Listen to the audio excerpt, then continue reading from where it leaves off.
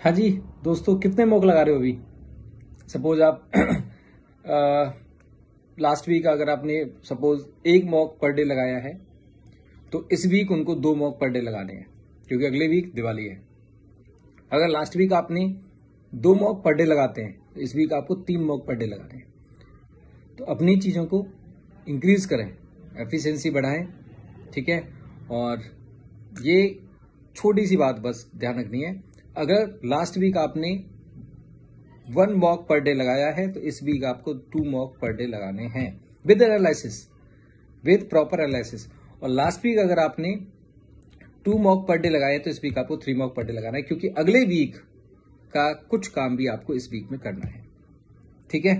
क्योंकि अगले वीक दिवाली है तो इस इस वीक आपको थोड़ा सा अपनी सेहत का ध्यान रखते हुए, सेहत का ज़रूर ध्यान रखें, और सेहत का ध्यान रखते हुए आपको अपने चीज़ों को इंक्रीज करना है। मॉक लगाना है, लेकिन एनालिसिस भी करनी है। ठीक है? मार्क्स इंप्रूव होंगे, उसकी चिंता ना करें। आपके मार्क्स बिल्कुल इंप्रूव होंगे। जब एनालिसिस प्रॉपर करोगे तो आपको कमियाँ कमियाँ दिखेंगी। कमियाँ दिखेंगी उन पर काम करोगे इंप्रूव होगा तो मार्क्स भी बढ़ेंगे। ठीक है? Thank you so much